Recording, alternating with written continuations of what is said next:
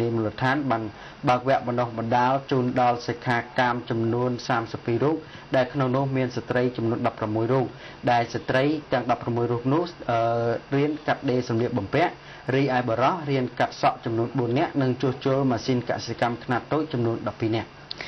ចាលោកអ្នកនាងតាមដានព័ត៌មានអប្សរាព្រឹកនេះចានៅក្នុងឥឡូវនេះសូមគោរពអញ្ជើញលោកអ្នកនាងតាមដានស្ថានភាពពីខេត្តបន្ទាយមានជ័យចាគឺធ្វើឲ្យផ្អើលពេញក្រុងសេរីសុភ័ណ្ឌដោយមានក្រុមក្មេងស្ទាវពីក្រុមជិះម៉ូតូស៊េរីទំនើបទំនើបបានដេញកាប់គ្នាយ៉ាងចាស់ដៃ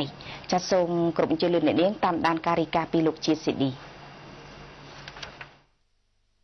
យុវជនម្នាក់បានរងរបួសជាទម្ងន់ខណៈដែលមានក្មេងទំនើងមួយក្រុមជិះម៉ូតូស៊េរីទំនើបមួយគ្រឿងមានគ្នា3នាក់ជិះដេញកាប់និងធាក់ម៉ូតូជនរងគ្រោះឲ្យដួលរួចគេចខ្លួនដោយសុវត្ថិភាពសកម្មភាពនេះបានបង្កឲ្យមានភាពភ្ញាក់ផ្អើលដល់ប្រជាពលរដ្ឋដែលរស់នៅកន្លែងកើតហេតុកាលពីវេលាម៉ោង7យប់ថ្ងៃទី2ខែតុលាឆ្នាំ2014ស្ថិតនៅចំណុចផ្លូវទីរួមខេត្តខាងជើងស្រីគ្រប់លក្ខប្រហែលជា100ម៉ែត្រនៅសង្កាត់ព្រះពន្លាក្រុងសិរីសុភ័ណ្ឌខេត្តបន្ទាយមានជ័យយោងតាមអ្នកឃើញហេតុការណ៍ផ្ទាល់ភ្នែកបានឲ្យដឹងថាជនរងគ្រោះមានឈ្មោះផលវាសនាអាយុ21ឆ្នាំរស់នៅភូមិព្រៃរិស័យសង្កាត់ព្រះពន្លាក្រុងសេរីសុភ័ណ្ឌប្រជាពលរដ្ឋបានបញ្ជាក់ថាមុនពេលកើតហេតុគេឃើញក្មេងទំនើងពីរក្រុមជិះម៉ូតូម៉ាក Honda Dream ពាក់ស្លាកលេខបន្ទាយមានជ័យ 1J